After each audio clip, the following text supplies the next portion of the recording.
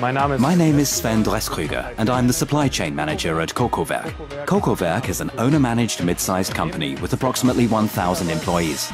Our production sites are located in Germany, Poland and Turkey, and our customers are from the automobile industry, as well as other non-automobile sectors, such as white goods and medical technology. Our core production area is the injection molding technology, for which we have machines ranging between 15 and 2,400 tons. We're able to produce multi-component injection molded parts. This means they consist of a hard and a soft component being manufactured by the same injection molding machine.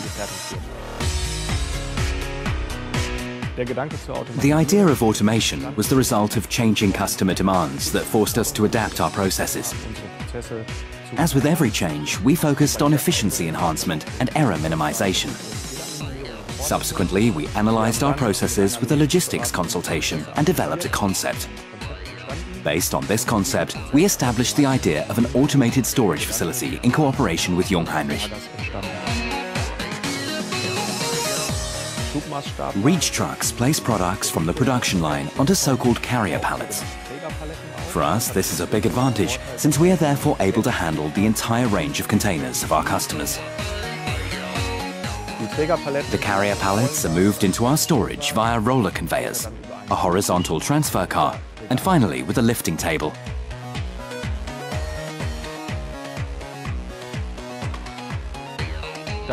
Using another horizontal transfer car, the appropriate aisle is assigned.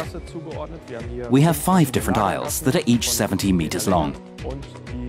The carrier pallet is then picked up by a fully automated ETX-A to be stored in the assigned storage bay.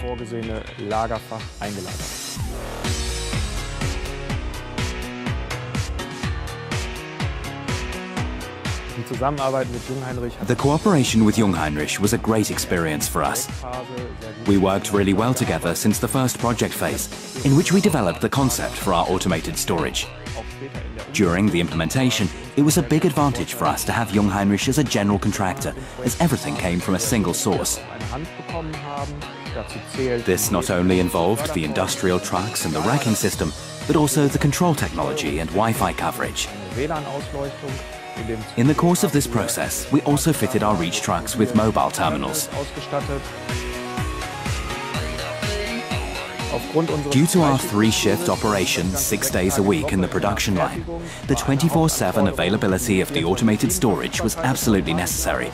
Another main requirement was to make the dispatch processes in the high bay warehouse as efficient as possible in order to optimize the distribution to our customers.